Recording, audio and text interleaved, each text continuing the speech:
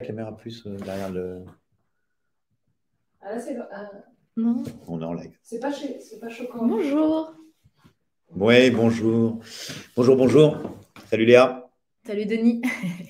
Eh, bienvenue à tous euh, à ce live euh, PyDrive Live où on va discuter euh, CRM, euh, workflow commercial, etc. etc. Donc, euh, on va peut-être faire une petite intro, on va se présenter euh, Denis et moi en attendant que tout le monde arrive. Euh, on attend pas mal de monde, je crois, aujourd'hui. Euh, ouais. Euh, bah, du coup, je vais commencer. Euh, moi, je suis donc euh, Léa. J'ai rejoint les équipes Drop Contact il y a bientôt un an. Mm. Euh, je gère toute la partie commerciale et mise en place de Drop Contact chez nos clients, conseils, expertise, etc. Et donc, j'ai une expérience euh, passée dans une start-up auparavant. C'est pour ça que ça va être intéressant d'en discuter. J'étais chez une start-up qui s'appelle Student Pop et où euh, justement j'étais sales et j'ai géré euh, toute la partie mise en place du CRM, accompagnement des clients durant cette expérience. Et donc j'ai une certaine expertise CRM. donc ça va être assez intéressant d'en discuter tous ensemble aujourd'hui. Voilà. on va attendre un petit peu que les gens arrivent. Donc, on va. Il est 10h32, on va se laisser deux, trois petites minutes pour, pour que les personnes puissent venir parce que c'est un, un horaire un peu au milieu de la, de la matinée qu'on tente euh, Mm. aujourd'hui. Et euh, du coup, toi, en tant que sales, euh, quand, tu utilisais euh, un CRM, tu utilisais pas mal, je crois, au départ. Et euh, Ouais. Non, même Excel, c'est ça? Ouais. C'était ça l'expérience, ouais. tout, tout début, euh, tout début, euh, c'était Excel. On était deux sales, donc c'est vrai que tableau Excel, on vient vite à faire des doublons. On appelait euh, des. En fait, on avait des listes. Chacune, on était deux sales. On avait des listes de prospects avec euh, le contact téléphonique et les informations essentielles. Et on appelait. On faisait beaucoup de call call et on appelait, mais c'était en effet du Excel. Et donc, euh, on faisait pas mal de doublons. Ouais. On se retrouvait. euh, Sophia avait appelé le matin et moi j'appelais l'après-midi. Donc, on s'est dit à un moment donné. euh, va falloir qu'on essaie d'optimiser euh, notre temps et, et notre productivité. Et donc, du coup, c'est à ce moment-là où on a choisi, en effet, de, de prendre un CRM. On a choisi PyDrive à Mm. l'époque pour faire ça. Et Vous étiez au tout début, quoi. C'est-à-dire, en fait, en gros, Excel, c'était vraiment le, le, le B.A.-ba de, de la boîte qui, qui commence et qui, euh, qui dit, bon, on va mettre ça dans des fichiers Excel, puis on va faire ça à la main, et puis, euh, puis à un Mm. moment donné, on voit la limite, en fait, euh, dessus. C'est ça, exactement. Mm. Donc, euh, PyDrive, en tout cas à l'époque, ça nous a vraiment permis de changer les choses et de pouvoir s'organiser, en fait. Ouais. Et on n'était que deux, donc euh, organiser l'équipe sales avec, euh, on a pu mettre les bases de l'utilisation de PyDrive, s'organiser, voir comment on qualifie nos leads, etc. Donc, euh, et centraliser la donnée surtout. Mm. Ouais. Et pas en avoir partout sur plein d'outils différents. Et... Et à, à l'époque, en fait, vous n'étiez même pas dans la même ville, si je ne me trompe pas. Toi, tu étais à Bordeaux, Ouais. elle était à Paris. hein. C'est ça, Ouais, exactement. ça. Donc, ce qui euh, facilite pas non plus l'échange euh, sur, les, sur les informations. Non, même si Excel euh, avec Google Sheets, ça permet quand même de gérer à distance, mais c'est sûr que on, ne s'écoutait pas mutuellement pour savoir euh, quand on avait appelé telle ou telle personne. Quoi. Mm. Ouais. Donc euh, pour le suivi, c'était, ça a vraiment changé les choses, en tout cas à l'époque. Ça a permis à la boîte euh, vraiment d'évoluer et de pouvoir centraliser toute cette donnée.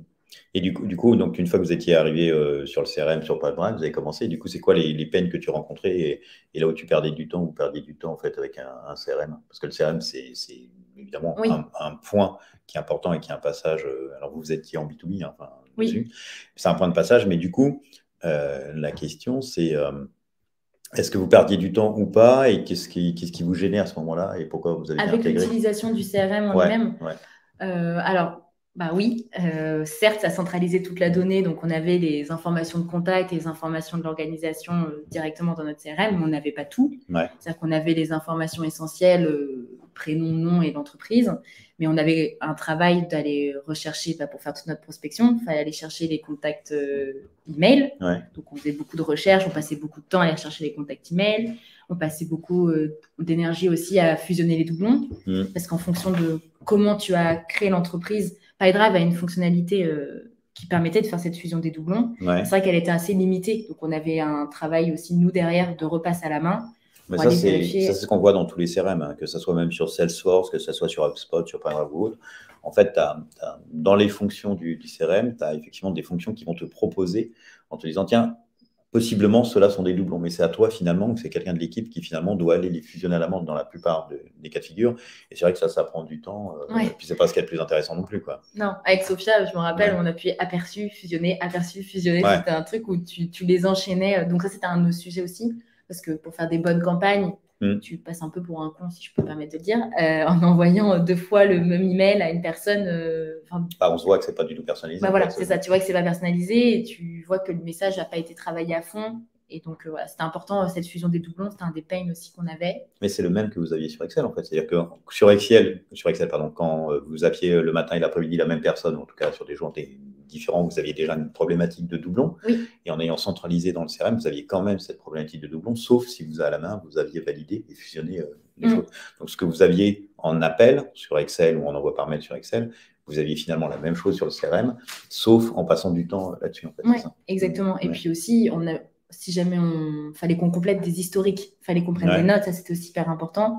C'est noter l'historique, comme quoi tu as appelé telle ou Mm. telle personne, l'action que tu as t'as mis en place, parce que si tu ne fais pas ça, bah, je peux pas savoir que Sophia euh, avait appelé le client dans la Ouais. matinée. Donc c'était la même problématique avec Excel. Bien sûr, Donc c'est important aussi de, de maintenir son... de faire des rapports, de noter dans son CRM les échanges qu'on a pu avoir, ce qu'on s'est dit et le fait qu'on ait fait telle ou telle action auprès de son prospect. Mm.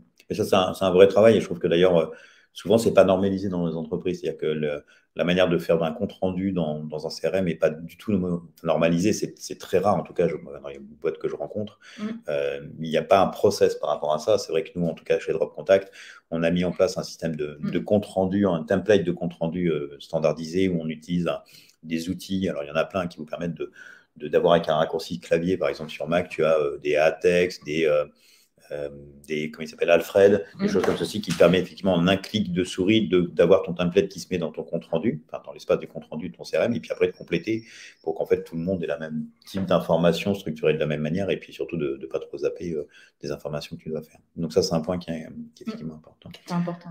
Ouais. Je vois, qu'on a, on a, ça y est, il y a un petit peu de monde qui est arrivé. Là, on a commencé depuis quelques minutes. Euh, ce que je te propose, si tu veux bien, c'est que là, on va se concentrer sur un point particulier. Euh, et en tout cas, merci pour ce, témoignage et ce retour des galères euh, d'usage de CRM et, sur lesquels on se rend compte qu'en fait, les, les sales souvent passent beaucoup de temps à faire autre chose que du sales, en fait, euh, et, euh, et à se battre un petit peu avec l'information, les contacts, etc. Et là, on va passer aujourd'hui sur ce qu'on voulait vous présenter. C'est comment on peut euh, automatiser euh, une grosse partie de, de ce flot de travail que finalement beaucoup de gens font. C'est-à-dire qu'en gros, je trouve des gens sur LinkedIn, en tout cas, je les sélectionne, je les trouve sur LinkedIn. Après, je vais les mettre dans mon CRM, Mhm. pas bref. Et puis après, euh, ben, je vais envoyer des emails en mode cold email pour une partie. Et donc, on, on va vous montrer comment vous pourriez le faire, comment vous pouvez le faire en automatisant beaucoup de choses et pour le coup en dégageant du temps de sales pour que les sales finalement se concentrent sur, euh, sur la partie essentielle, c'est-à-dire en gros euh, créer, la, créer la relation, créer la relation euh, et suivre son client et être vraiment sur du, sur du closing plutôt que d'être sur de la petite main qui fait des copier-coller et qui passe beaucoup de temps là-dessus. Ouais. Et donc il y a des... C'est vrai qu'on voit sur le marché aujourd'hui, il y a, il y a beaucoup d'outils, beaucoup de solutions, etc. Donc aujourd'hui, on a, on a fait une sélection d'un workflow particulier euh, qui est un des workflows que nous-mêmes, on, on utilise depuis un petit moment, qui, qui est un truc très cool, très simple à mettre en place et qui, franchement, euh, change beaucoup, euh, beaucoup la vie au quotidien sur la partie sales. Oui, parce qu'il est très puissant. Ouais. Enfin, vraiment, il va permettre d'aller loin et de gagner du temps et d'être efficace. Mm. Enfin, Mm. moi, c'est ma reco, c'est vraiment ce workflow. Cool. Allez, je te propose d'a- d'aller dans la, présentation. Si vous avez des questions, euh, bah, posez-les directement euh, dans le chat sur le côté. Et puis euh, après, on fera une, un petit- une petite session de, réponses. Donc, on reprendra les questions au fil de l'eau et on fera des réponses. Et là, on va vous faire une petite présentation live directement. J'essaie de trouver le, bon format pour ma présentation, puisque là. Alors en fait, le sujet, c'est vraiment comment on va augmenter euh, l'efficacité de son CRM. Donc aujourd'hui, et c'était c'était le thème de, de ce live, c'était euh, PaveDrive. Donc euh, c'est essentiellement sur des gens qui utilisent PaveDrive ou qui ont l'intention d'utiliser PaveDrive. Oui. Monsieur. Est-ce que tu peux nous parler déjà un petit peu de, des outils et, et de ce workflow, Léa? Oui, on a identifié un certain nombre d'outils. Euh, bon, bah, LinkedIn, euh, Sales Navigator. Et pourquoi LinkedIn d'abord? Pourquoi, Pourquoi utiliser LinkedIn LinkedIn et pas des bases et des C'est vrai, bah, parce que c'est la base, la base la plus à jour aujourd'hui. Toute Mm. personne qui change de poste, qui change d'entreprise va l'indiquer euh, sur euh, LinkedIn. Donc, ça va être l'endroit le plus à jour aujourd'hui. Donc, c'est pour ça que c'est important de partir de LinkedIn pour, euh, pour récupérer ces informations-là. Ouais, c'est vrai que dans, en tout cas en Occident, c'est la base de données euh, professionnelle B2B qui est la plus à jour. D'ailleurs, l'un des constats qu'on voit, c'est que bah, tout le monde essaye de scraper, hein, de récupérer les données LinkedIn. Euh, dès que tu as un call, enfin, en tout cas moi, dès que j'ai un call je suis toi, tu le fais aussi, bien sûr. Dès qu'on a un call, bah, la première réflexe qu'on fait en tant que sales, c'est d'aller voir la fiche LinkedIn de notre interlocuteur pour avoir une connaissance de son expérience, qui fait, son poste, sa fonction, etc. Donc, c'est vraiment la meilleure base de données aujourd'hui en B2B, c'est le point de départ.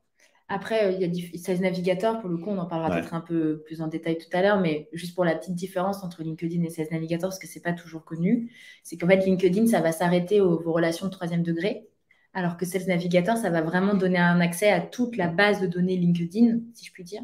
Et donc, du coup, ça va être plus large que vos relations de troisième degré. Et c'est quoi les relations de troisième degré? Bah, c'est quand euh, tu es connecté par le biais d'une personne puis d'une autre au troisième Oui, d'accord. Oui, en fait, oui, oui c'est ça. En fait, LinkedIn, c'est si j'ai quelqu'un dans mon réseau, d'accord, quand nous on est dans le réseau, en fait, je peux contacter des personnes qui sont en réseau avec toi et des personnes qui sont en réseau de ton réseau, Exactement. mais pas les autres. Ça va pas plus loin, c'est ça. Ça limite du coup au, niveau, au niveau contact. Quand mm. on est sur un marché de niche et qu'il y a très peu d'acteurs, ça peut suffire. Mm. Mais quand on veut vraiment aller chercher euh, différents profils euh, de manière mondiale ou voilà, en France, euh, sur le marché français de manière plus large, ouais. Sales Navigator est quand même très important pour ça. Mm. C'est-à-dire qu'en fait, si tu utilises LinkedIn, tu as un vrai intérêt à augmenter ton réseau de gens avec qui tu es en connexion pour pouvoir toucher jusqu'au troisième degré. Et à partir du moment donné, en Sales Navigator, finalement, ça n'a pas beaucoup d'importance par rapport à ça, en tout cas. Ça. Puisque du coup, tu touches toute la base de. Exactement. Je ne sais plus, c'est 700 millions, je crois. Il y a 700 millions de profils, il me semble, sur, sur LinkedIn au niveau mondial dessus. OK. Euh, donc ça, c'est, on va dire, la source de données qui est très importante pour euh, le dérouler, tout ce qu'il va y avoir derrière. Ensuite, il y a DuckSoup. Pourquoi DuckSoup Parce que c'est un outil, c'est le seul outil aujourd'hui de scrapping qui va être intégré nativement à PyDrive. Hmm. Donc, il existe plein d'outils, on en parlera tout à l'heure, mais vraiment, on a choisi DuckSoup. Pourquoi? Parce que c'est le seul qui est intégré aujourd'hui nativement à PyDrive et donc il va vous permettre d'avoir une fluidité des informations euh, très importante. Hmm. PyDrive, donc PyDrive, c'est le CRM pour euh, les débutants et le CRM aussi euh, pour, pour des équipes sales. Euh, c'est un CRM très simple à utiliser, qui ne coûte pas trop cher et qui permet vraiment de, de qualifier ses leads et d'avoir toutes les informations dans son CRM. Drop Contact pour la partie enrichissement des données, fusion des doublons et vraiment clinique des datas dans votre CRM directement. Et Lemlist. Lemlist, c'est un outil de code email. Donc, il existe beaucoup d'outils de code email. Pourquoi Lemlist? Même logique que DuckSoup. C'est intégré nativement à PyDrive. Donc, du coup, ça va vraiment permettre d'avoir cette fluidité des informations du début jusqu'à la fin. Et donc, c'est pour ça que l'Emlist est un très bon outil euh, de call d'email qui va permettre d'envoyer euh, différents emails à vos prospects avec euh, des scénarios multiples. Hmm. En fait, il y, a plein de choix de, workflow. C'est vrai que dans les outils, par exemple, pour aller scraper euh, LinkedIn, il y a euh, Captain Data, il y a Phantom Buster, il y a Lemlist aussi, ils ont une extension maintenant là, qui sont sortis il y, a, quelques mois, qui permet aussi de scraper mhm. euh, un certain nombre d'informations. il y a Leadjet, EvaBoot, Faro, enfin, il y a vraiment beaucoup, d'acteurs, ouais. beaucoup d'acteurs, dont beaucoup d'acteurs français d'ailleurs, c'est ça qui est assez intéressant. Il y a aussi Link Helper qui sont des, je ne sais pas, ils sont américains, j'ai un doute là-dessus. Mais on a effectivement beaucoup de solutions et, le, choix dans ce workflow, c'est vraiment ce que tu disais, c'est le fait que DuckSoup, c'est une extension, donc il y a un usage qui est surtout très simple et, euh, qui va pousser automatiquement et au fil de l'eau directement l'information dans le CRM. Et donc ça, il n'y a pas toutes les étapes de je fais mon scrapping, j'exporte mon fichier, je fais mon importation dans PipeDrive. Et donc là, ce workflow permet en fait de, supprimer euh, ces étapes-là et on, a pris en tout cas comme, euh, comme démonstration dans le workflow de le faire à partir du, CRM. C'est-à-dire qu'on part du fait que toutes les mhm. données sont dans le CRM. C'est vrai qu'il y a deux approches. C'est soit on prend toutes les données, on les met dans les CRM et effectivement, on va l'enrichir, le traiter, les fusionner les doublons parce qu'on a aussi des gens qu'on connaît déjà. Donc quand on rescrape quelque chose qu'on a déjà, bah, le fait de l'avoir dans son CRM fait qu'on n'aura pas de doublons. Euh, et il y a l'autre approche qui n'est pas celle qu'on présente aujourd'hui, qui est de, de scraper des données, de, de, les traiter dans des fichiers, euh, puis ensuite de renvoyer avec du call d'email, Lemlist ou euh, d'autres confrères à Lemlist, effectivement, et ensuite de les importer dans le CRM, mais qui nécessite beaucoup plus de manipulation, beaucoup plus de, temps homme dessus. Particulier ici de, de PubDrive par rapport à d'autres CRM, je pense par exemple à HubSpot, c'est que PubDrive, et c'est des licences qui sont à l'utilisateur, crois que c'est 12 mhm. ou 15 euros euh, par personne, utilisateur. HubSpot est dans une démarche où c'est au nombre de contacts dans ton CRM. Donc, effectivement, tu peux avoir aussi une réflexion par rapport à ça. On a des, des clients qui ont des, CRM un peu importants et qui, euh, bah, qui sur HubSpot, en fait, se posent euh, enfin, hmm. un vrai sujet dessus, sachant que HubSpot n'est pas que un CRM, mais aussi une solution de market automation, nurturing, etc. OK, ben, je propose qu'on avance euh, sur le sujet. Donc LinkedIn, ok, donc c'est la première étape. Première étape. Et donc là, on va regarder un petit peu la, recherche LinkedIn. Donc euh, quand on dit LinkedIn, là, c'est plutôt une recherche seul navigateur, en l'occurrence, et sur les différents filtres. Est-ce que tu peux nous parler un petit peu de, bah, des filtres euh, qu'on peut faire et qu'on peut mettre en, place, euh, de type de recherche qu'on peut faire sur LinkedIn, sur Sales Navigator Oui. il y a différents types de, de, recherche. Après, tout dépend de votre secteur, de qui vous intéresse. Après, vous avez la possibilité de trier par fonction. Donc, vous allez pouvoir mettre des mots-clés. Vous allez pouvoir aussi gérer euh, la partie euh, bah, profil, le langage, le, la langue du profil sur LinkedIn. Est-ce que c'est des profils français? Est-ce que c'est des profils anglais? Vous allez pouvoir gérer la partie géographique. C'est important aussi euh, dans les messages que vous allez envoyer derrière de savoir est-ce que vous êtes plutôt Paris, Bordeaux, Nantes, Marseille pour la partie France. le secteur d'activité, l'industrie, ça va être important aussi. Et après, il y a toute la partie booléenne hmm dans les recherches. Ça, c'est un peu plus poussé, mais qui, va permettre aussi de sortir, par exemple, tous les profils qui sont stagiaires ou qui mm. sont alternants ou qui ne sont pas forcément vos cibles pour les messages que vous allez envoyer derrière. Donc, euh, voilà la partie LinkedIn euh, booléen. Euh, que tu expliqueras mm. plus en détail que moi. Ouais, en, fait, il y a, c'est pas le sujet de ce, de ce workflow, de ce qu'on présente aujourd'hui sur ce live, mais il faudra qu'on fasse un live effectivement sur les, sur vraiment des, recherches très très avancées sur celle, avancées, pardon, sur Sales Navigator parce qu'en fait, on, se rend compte qu'on utilise tous plutôt pas trop mal Sales Navigator, mais en fait, il y a un vrai enjeu et un vrai plus à maîtriser parfaitement les recherches sur Sales Navigator qui permettent d'aller vraiment très très très loin. On peut, euh, selon les abonnements qu'on a, on peut importer des, listes d'entreprises. Euh, soit les entreprises, par exemple, qu'on a déjà en CRM ou qui sont clients pour les exclure, donc les exclure de toutes les recherches. On peut aussi faire des sélections d'entreprises sur, des euh, sur des sujets particuliers et les importer dans LinkedIn, enfin dans le navigateur, et ensuite de faire des recherches sur le titre, la fonction, et comme tu disais, exclure aussi un certain nombre de personnes qui ne rentrent pas dans, dans la cible, du type euh, stagiaire, etc. Donc là, il faudra vraiment qu'on fasse un live, qui n'est pas le, le sujet d'aujourd'hui, mais un live vraiment sur, la, sur une recherche avancée euh, dessus, et on, vous tiendra au courant dessus. Donc, OK, donc j'ai fait ma recherche sur Sales Navigator, j'ai une sélection, j'ai établi une liste. J'ai établi une liste et donc je vais utiliser euh, DuckSoup. Donc dans la version de DuckSoup qui va avec Pabral, c'est la version de DuckSoup euh, Turbo, mm. qui doit être dans les 50, 60 euros par mois. Ouais, 49, je pense, euh, par mois. Ouais. Et c'est vraiment quelque chose qui fait gagner un, temps extrêmement important. voilà, on, parle des budgets, enfin 49 c'est même pas un budget, hein, c'est une note de frais, par rapport au gain de temps qui est, qui est vraiment incroyable derrière. Et ça permet deux choses. Ça permet soit de le faire en mode picking, c'est-à-dire de prendre une fiche, mhm. j'ai un profil d'une personne et de le pousser dans mon CRM, ou euh, j'ai une liste de fiches, que, de fiches de contacts que j'ai fait sur ce navigateur et de les pousser dessus. Oui, parce que ça va vraiment fonctionner à la visite. En fait, c'est comme ça que fonctionne DuckSoup. C'est qu'il va vraiment, quand vous allez faire votre liste sur euh, LinkedIn, sur Sales Navigator, ou quand vous allez aller visiter par exemple le profil de Denis Cohen chez Drop Contact, automatiquement, DuckSoup va vous créer cette personne et va créer cette organisation dans votre CRM ou va créer la liste de personnes que vous avez établies sur LinkedIn et la liste d'organisation directement dans votre CRM. Donc là, c'est ce qui se passe. Euh, on a un petit extrait. En fait, vous avez l'extension DuckSoup qui est en haut. Vous cliquez dessus quand vous avez fait votre liste, visitez les profils et automatiquement, DuckSoup va aller visiter le profil de Camille Croisé, directrice commerciale, il va visiter le profil de Cédric Le Breton, etc. Il va vous ajouter les personnes et les organisations. Il va vous créer des fiches personnes et des fiches organisations directement dans votre CRM en vous poussant un certain nombre d'informations qui vont être le job title, euh, la région, Paris-Île-de-France, etc., etc., directement dans votre CRM. Alors, ce qui, est, aussi très intéressant euh, sur DuckSoup euh, dans cette version-là, c'est que, évidemment, on sait tous que LinkedIn euh, se bat pour qu'on ne puisse pas scraper 700 euh, millions de profils en, quelques mois.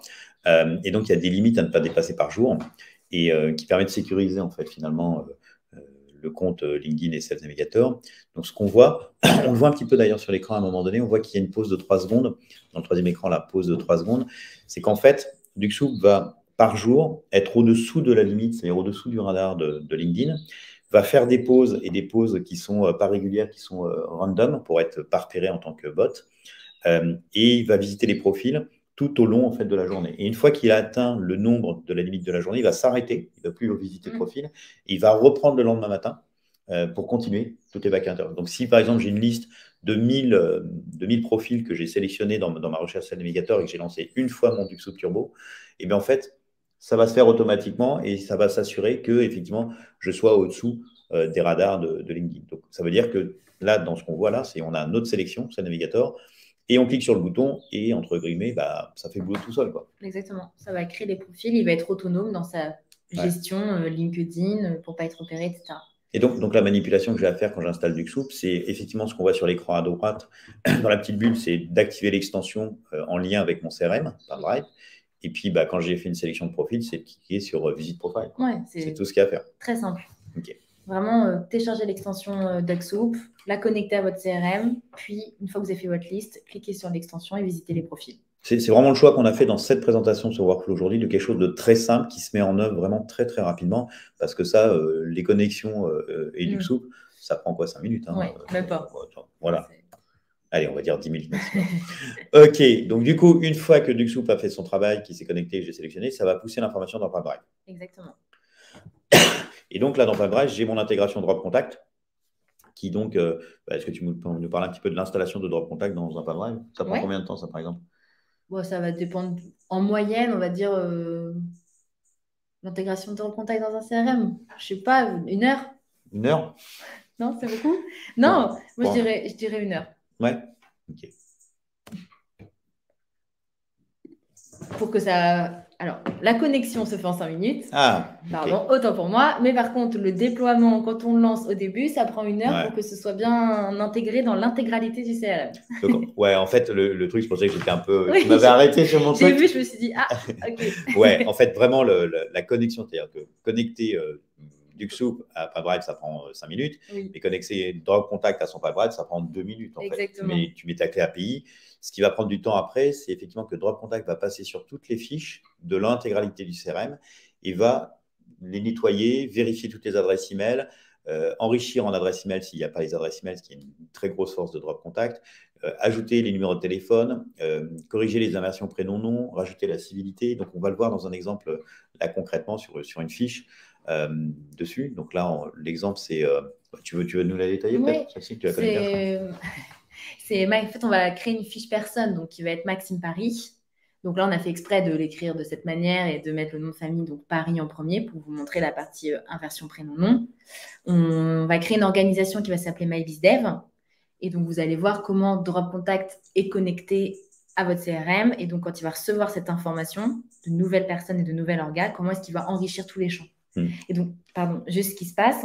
Là, on va vous montrer pour une fiche personne et une fiche organisation. Mais quand vous avez un DocSoup Turbo qui tourne, ça va créer automatiquement toutes ces fiches et ça va être le même travail. Drop Contact va faire la même chose fiche par fiche ou que quand vous importez un fichier de 500 personnes, ça va être la même chose. Ouais, c'est-à-dire que là, il n'y a pas ces étapes, on ne voit pas ces étapes, il n'y a pas besoin d'ajouter. Du coup, c'est vraiment le workflow automatisé. Duxou visite un profil, l'ajoute. Et en fait, derrière, le travail qu'il va faire, c'est ce qu'on va voir maintenant quand, on va lancer. Euh, c'est ce travail-là qu'il va faire sur l'enrichissement d'une fiche. Ce qu'on ce qu'on voit aussi d'ailleurs, c'est que le, sur le, nom, on, voit effectivement l'inversion prénom-nom, mais on voit aussi que c'est écrit en majuscule, minuscule, il y a même une, coquille, parce qu'il y a je crois, une étoile, je crois, mm. juste après Paris. Tout ça, en fait, Drop Contact le traite automatiquement, en fait. C'est ça, ça nettoie. Exactement, c'est ça. Ok, donc je lance un peu, et, là, on va voir euh, ce que fait concrètement drop contact sur une fiche. Donc là, on voit Paris Maxime. Donc là, on voit que, vas-y. Non, on a une vraie connexion, en fait. C'est ça qu'il faut bien avoir en tête. C'est pour ça qu'on disait que ça prenait deux minutes à se connecter. C'est que Drop Contact est, connecté à un certain nombre de champs dans votre CRM qu'on va décrire. Donc, on va être connecté sur les champs au niveau de la personne, on va être connecté au niveau du téléphone, on va être connecté au niveau de l'adresse email, au niveau de la fonction, au niveau du profil LinkedIn, au niveau de la civilité. Et donc, on va enrichir tous ces champs-là, dès que vous allez créer une nouvelle personne et une organisation dans votre CRM, Drop Contact va enrichir ces champs-là. Et pour les champs organisation, on est connecté euh, aux sirènes, au NAF, au code NAF, au l'adresse postale, euh, le nombre de salariés, etc. Tout un tas d'informations. Donc, on va être connecté sur ces champs-là et on va enrichir en live directement dans votre CRM toutes ces informations. Je vais faire un peu le naïf hein, quand même, parce que je connais évidemment comment ça marche. Mais euh, en, fait, on avait mis que Maxime Paris, là, ça a inversé Paris Maxime et ça a corrigé les choses. Mais après, les informations, le, euh, les, emails, la mhm. fonction, les téléphones, tout ça, c'est quoi? C'est ça, se fait comment en fait? Alors, le numéro de téléphone standard, en fait, on récupère le numéro de téléphone sur le Google Maps ou sur le site internet de l'entreprise. Mhm. Donc, c'est une donnée qu'on fournit, que fournit Drop Contact. Les autres numéros de téléphone. Et du coup, l'avantage, indéniable, c'est que qu'en tant que sales, bah, j'ai pas besoin de faire ma recherche, d'aller chercher. Ah bah euh, parce qu'en tant que sales, ce que je fais habituellement, c'est que je vais chercher le numéro de téléphone sur les pages jaunes, sur Google Maps, et euh, je fais un gain de temps. tout. Ouais. Le premier Mm. temps qui est gagné, le gain de temps qui est fait à ce moment-là, c'est en effet, plutôt qu'aller chercher sur la fiche, sur le site internet, le numéro de téléphone du standard pour essayer de parler à Maxime Paris, j'ai directement cette information qui est récupérée par Drop Contact, le standard. Ça, c'est la première info. Ouais. Il y a encore plus puissant, c'est que là, ce qui s'est passé dans le cas Maxime Paris, c'est qu'il existait déjà dans mon CRM, Maxime Mhm. Paris. Donc, son Drop Contact a enrichi toutes les informations, puis il s'est rendu compte qu'il y avait déjà un Maxime Paris de chez MyBizDev qui existait dans mon CRM. Mhm. Donc, il a consolidé les deux fiches, donc la seconde fiche avec la première, Ouais. pour n'avoir qu'une seule et même fiche de Maxime Paris. Et en plus, il a été récupérer le numéro de téléphone mobile de Maxime Paris dans sa signature de mail. Quelle signature de mail? En fait, ce qui s'est passé, c'est que Maxime Paris, j'ai échangé avec lui. Ouais. Je lui ai envoyé une campagne Lemlist où j'ai discuté avec lui. Il m'a envoyé un email. Il m'a écrit à moi, Léa chez Drop Contact. Il m'a envoyé un email. Et donc, l'action de Drop Contact, ça va aller de copier le numéro de téléphone de Maxime Paris dans sa signature de mail et de coller ce numéro de téléphone dans sa fiche Contact Pipedrive. Ouais, ça fait, en fait, ce que fait Drop Contact, c'est qu'il euh, il a une lecture de toutes les adresses email de l'entreprise Exactement. et à partir de, des signatures des emails reçus, il va faire une extraction des numéros de téléphone mobile pour enrichir le CRM et consolider les informations. Donc là, c'est extrêmement intéressant. Et du coup, le, le point qui est, qui est important, c'est que Drop Contact ne fournit pas de numéro de téléphone mobile des gens parce qu'en fait, c'est euh, une donnée qui est euh, nominative Mhm. et, euh, et en fait, Drop Contact fonctionne sans base de données. C'est la particularité d'ailleurs de Drop Contact par rapport à toutes les solutions du marché, c'est qu'il y a zéro base de données, et que c'est la seule solution qui est 100% RGPD par rapport à ça, parce qu'il n'est pas autorisé en fait de mettre des données dans une base de données pour les revendre. Mais c'est un sujet, là on pourra faire un gros live, voire plusieurs gros lives sur le sujet. En tout cas- n'en a même pas parlé. Ouais, on n'a pas ouais. parlé de, de ce qu'on faisait. Bah, il, y a beaucoup, il y a beaucoup de sujets, mais bon, là, on présente effectivement euh, Drop Contact. Euh, L'autre point aussi, c'est que Drop Contact a ajouté pour le coup, là, vraiment, les adresses email nominatives validées de la personne. Donc, on a une, une vraie capacité. Drop Contact a une vraie capacité, toujours parce qu'il n'y a pas de base de données, de le faire par algorithmie. Et, euh, et en fait, ce qui est très intéressant, c'est que en fait, des, on, on voit aujourd'hui qu'il y a une obsolescence de la donnée qui est de plus en plus rapide, c'est-à-dire que les gens changent de plus en plus de- d'entreprises. C'est-à-dire que, limite, nos grands-parents euh, avaient peut-être trois, quatre entreprises dans leur vie. Aujourd'hui, euh, en, en cinq ans, euh, la plupart des gens, une grosse partie des gens ont déjà changé une ou deux fois d'entreprise. Et donc, il y a une obsolescence des, des données qui est assez forte sur les, les bases de données, en fait, pour les boîtes qui utilisent de la base de données enrichie. Particularité de Drop Contact, c'est que nos algos vont euh, trouver l'adresse email et derrière, on a nos propres process et nos propres systèmes de vérification d'une adresse email. Donc, c'est-à-dire qu'à l'instant T, euh, où vous faites une demande ou une fiche arrive, c'est à ce moment-là où Drop Contact va faire fournir l'adresse email qui sera vérifiée à l'instant T. Donc, une très grande fraîcheur de, de la donnée euh, sur les emails. Donc, on a aussi l'ajout de la fonction du CEO. Je vais voir si je peux remettre le, si je reclique là. Je vais peut-être faire une bêtise. C'est ça, c'est bien ce que je disais. Donc, j'ai fait une bêtise. Euh, et je relance. Voilà, c'est ça. Je voulais juste vous remonter un petit peu le, le- le fonctionnement. Donc, on voit que ça a rajouté quand même les informations sur l'entreprise euh, directement, parce qu'on va voir un petit peu, je crois Oui. qu'on l'aperçoit à un moment donné dans notre démo. Voilà. On voit que ça a rajouté aussi euh, le site web de l'entreprise, le siège social, l'adresse du siège social, le profil LinkedIn, le numéro de téléphone, on en a parlé, le numéro de sirène, la taille salariale, le secteur d'activité, le numéro TVA. Tous ces éléments ont été rajoutés automatiquement par Drop Contact directement. Et ce que tu disais à juste titre, c'était le fait que Drop Contact avait détecté automatiquement le doublon. Oui. Donc là, on a l'impression que la fiche a été supprimée parce que la nouvelle fiche a été supprimée, plus exactement, elle a été fusionnée, euh, comme tu disais. Ça marche aussi bien sur l'entreprise, l'organisation, que le contact. Donc en fait, il y a quasiment rien à traiter en termes de doublon Non. dans son CRM euh, dessus. On n'arrive pas en fin de mois avec euh, un volume euh, important de doublons à traiter à la main. Ok. Et donc, du coup, on va passer à l'étape d'après, c'est-à-dire que là, on a vraiment sélectionné euh, ces contacts. Avec Duxoup, on a pu automatiser l'extraction euh, et le scrapping de ces données et les pousser dans PineDrive. Drop Contact les a enrichies et donc elles deviennent exploitables pour faire du call call ou du call d'email. Mhm. Et elles sont nettoyées, euh, normalisées euh, et permettent de faire de l'hyper-personnalisation. Et donc maintenant, ce qu'on va faire, c'est on va utiliser des filtres de PipeDrive pour faire la liaison avec l'Emlist. Parce que le but, ça va être de pouvoir envoyer automatiquement dans l'Emlist, dans des séquences de l'Emlist, certains profils, certains contacts qu'on vient d'ajouter directement, et le tout, pareil, de manière automatique et en temps réel. Donc l'idée, c'est vraiment créer ça. On va regarder pour partie de tout, mais l'idée, c'est créer sa campagne Lemlist avec vos scénarios, euh, mail 1, mail 2, mail 3, etc. C'est d'avoir la possibilité aussi, avec Lemlist, vous pouvez faire du cross-canal. Vous avez la possibilité d'insérer dans vos scénarios euh, une connexion LinkedIn, une visite d'un profil, du profil sur LinkedIn. Donc, c'est de, d'écrire, si je puis dire, votre scénario, votre campagne sur Lemlist. Une fois que vous avez créé votre campagne euh, marketing sur euh, Lemlist, vous allez dans PyDrive. Et donc, dans PyDrive, il va y avoir un peu deux étapes de création de filtres. Mm. J'aime mm. bien les deux. C'est qu'en gros, quand vous avez ajouté des contacts à partir de DocSoup, donc vous avez fait votre liste sur LinkedIn, vous avez poussé ces contacts-là dans votre CRM PyDrive. Et donc, l'identité de ces contacts-là, ça va être le LinkedIn ID qu'on voit ici, le champ LinkedIn ID qui a été complété par le biais de DuckSoup. Donc, ça veut dire que ça vient, la source c'est DuckSoup, enfin, c'est LinkedIn, pardon, poussé par DuckSoup. Donc, vous allez pouvoir créer un filtre. Vous allez mettre, je veux toutes les personnes dont le LinkedIn ID n'est pas vide. Mm. Donc, ce sont toutes les personnes qui ont un LinkedIn ID, donc qui proviennent bien de, de DuckSoup. Et vous allez mettre toutes les personnes dont l'email n'est pas vide. De manière à avoir cette liste de personnes que vous venez d'importer et qui est présente, euh, enfin d'importer, de pousser pardon, dans votre CRM et dont l'email n'est pas vide et qui vont pouvoir partir dans votre campagne Lemlist par la suite. Alors là, c'est un filtre très basique qu'on présente parce qu'effectivement, en fonction des séquences euh, qu'on va utiliser dans Lemlist, on peut avoir plusieurs séquences dans Lemlist. Du coup, on va avoir plusieurs filtres correspondant euh, dans Pipedrive. Alors les filtres, ça peut être sur, par exemple, des fonctions, ça peut être sur des types d'entreprises. On peut dire, voilà, j'ai fait euh, une séquence sur les boîtes de plus de 500 euh, salariés et du coup, je ferai un filtre dans mon Pipedrive correspondant à ma séquence des plus de 500 qui va être sur ce critère de, taille salariale. on va avoir le point aussi que, que tu évoquais, c'est pourquoi on, précise le LinkedIn ID, c'est-à-dire qu'il vient de, de Sales Navigator via Duxoup, parce que si je suis commercial et que je rentre à la main une fiche, euh, ou si j'ai un formulaire sur mon site et que ça rentre automatiquement, je ne veux pas envoyer cette séquence correspondante. Donc voilà, il y a des critères à faire.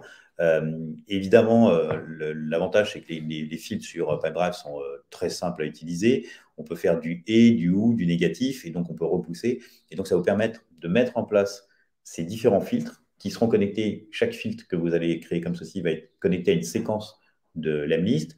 Et ce qui se passe, c'est que dès qu'il y a un contact qui est éligible dans un filtre, automatiquement, il va être lancé, la séquence de l'emlist correspondante va être lancée sans avoir rien à faire. Donc, on passe à l'étape suivante qui est l'emlist.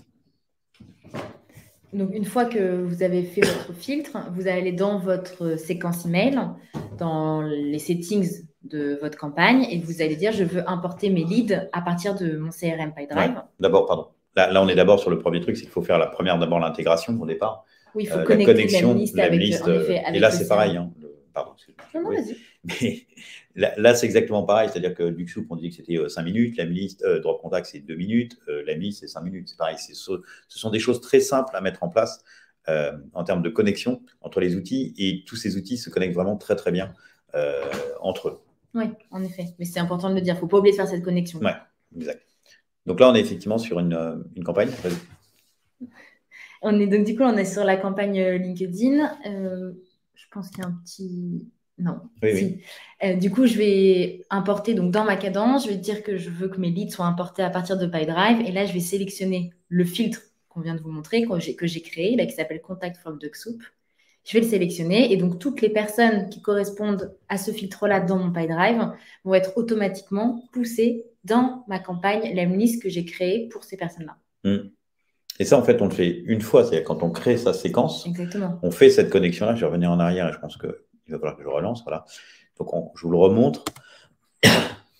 on arrive, donc on a une campagne qu'on a créée, une séquence, un port. On choisit le filtre, parce que là, on voit tous les filtres, en fait. Là, c'est flouté, mais on voit tous les filtres qui existent et qui sont présents dans PipeDrive. Il faut juste les avoir mis en public pour que les ouais. puissent les lire et pas les avoir en, en privé. Ça peut être un petit piège qu'on peut avoir au départ. Donc, on va avoir la liste des filtres et on choisit le filtre correspondant à la séquence, ce qu'on avait vu juste avant. À partir de là, une fois qu'on a activé ça, bah, la première fois, ça se lance s'il y avait déjà des contacts qui étaient dans ce, dans, dans, ce filtre. Mais tous les nouveaux contacts qui vont être éligibles dans ce filtre, dès que ça va taguer, ça va être repéré dans le filtre, automatiquement la milice va se rendre compte qu'il y a des nouveaux euh, contacts, il va les ajouter et il va lancer automatiquement les séquences. Donc en fait, si on reprend le schéma du départ, j'ai fait une sélection de 1000 personnes, dans Sales Navigator, j'ai appuyé sur DuxSoup, et finalement, le reste se fait automatiquement. C'est-à-dire que DuxSoup va me pousser, visiter un profil, pousser ce profil dans PipeDrive, Drop Contact va l'enrichir, ça va être éligible dans le filtre de PipeDrive, l'Emlist va le voir, va lancer sa première, son premier message de sa séquence, et tout ça est complètement automatique.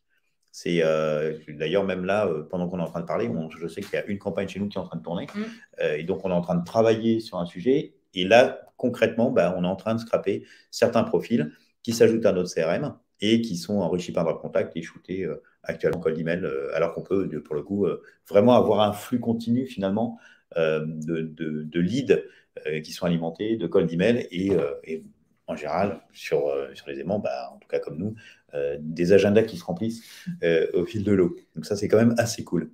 Tu voulais compléter quelque chose là-dessus non, pour cette partie, c'est bon. C'est vraiment ce qui est très important et pourquoi ce workflow est très puissant, moi je trouve, c'est que cette automatisation va vraiment permettre de se focus sur deux étapes qui sont cruciales, mmh. qui sont l'étape de ciblage, qui va être donc, ce qu'on disait tout à l'heure sur LinkedIn, sur Sales Navigator, bien établir vos personas, bien déterminer les personnes qui vous intéressent, donc votre ciblage sur LinkedIn et sur Sales Navigator. Donc ça, ça prend du temps quand même de, déterminer ça. C'est important de prendre du temps pour cette étape-là. Et ça va être la dernière étape. Donc pour moi, toute cette automatisation qu'on vient de vous présenter, euh, elle, est, elle permet justement qu'elle soit automatique, automatisée, si je puis dire, pour pouvoir se focus sur cette première étape de LinkedIn de ciblage et sur la dernière étape qui est cruciale aussi, qui va être la personnalisation de vos messages.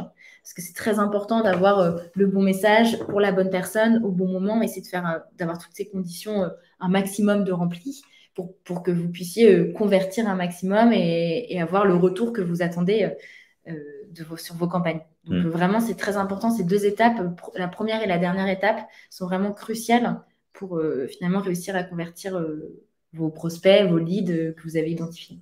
Ouais, ça c'est vraiment euh, je vous remets un petit peu les, mm. éléments pour que vous puissiez voir Duke Soup, euh, droit contact et l'emlist euh, dessus. un, point qui est vraiment, et, je suis content que tu, insistes dessus, c'est vraiment cet aspect qui est souvent négligé, ou en tout cas sur lequel je trouve qu'on passe pas assez de temps, c'est la partie sélection des personnes. C'est là où il faut, euh, ça c'est mon expression, d'ailleurs euh, j'ai quelques clins d'œil à, un des personnes qui ont repris mon expression, qui est le, jus de cerveau. C'est vraiment à un moment donné, en fait, les outils sont là, sont des supports pour nous et pour nous faciliter la vie en, tant que sales ou en tant que euh, hack. mais là où, de toute manière, c'est quelque chose qu'on ne peut pas vraiment déléguer, c'est vraiment la sélection qui, doit, qui va prendre du temps. Il faut reconnaître que ça prend du temps de bien cibler les personnes. Pourquoi? Pour deux raisons. Ça ne sert à rien d'envoyer des grosses masses de messages. Donc, c'est ce qui se faisait historiquement avant, c'est-à-dire que les gens faisaient de la prospection par emailing. Donc, dans la journée, tu envoyais 10 000 emails et puis tu attendais euh, de, du semer, tu vois, à tout vent. Et puis, euh, tu avais quelques personnes qui tombaient dans les filets. Donc, c'est comme ça qu'on faisait. Euh, ça, ça fonctionne plus du tout. En fait. Voilà, mais on a tous pratiqué dessus et je pense qu'il y a pas mal de gens qui ont pratiqué là. Donc, donc ça, ça, marche très peu maintenant. C'est vraiment, c'est pas très loin du spam en fait. C'est moins apprécié. Je veux dire que c'était une autre époque. Euh, l'approche cold email, c'est que de toute manière, par jour, tu vas envoyer moins de 100 emails dans la journée.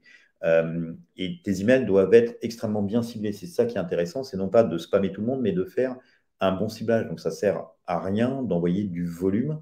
Ce qui va être très important, c'est ton taux d'ouverture et surtout le nombre de rendez-vous, en tout cas, si tu peux venir sur Call to Action, tu des rendez-vous, de prise de contact, de voilà, ce que tu veux, ou de téléchargement de livre blanc, enfin tout ce que tu veux faire dans ton Call to Action de ton message. Mais ce qui est vraiment important, c'est cet aspect-là de la bonne sélection. Le deuxième élément sur le, fait de bien sélectionner euh, les entreprises et les personnes, c'est que de toute manière, comme tu n'as plus le droit, enfin, tu n'avais pas le droit non plus avant, mais tu n'as plus la possibilité d'en scraper 10 000 par jour.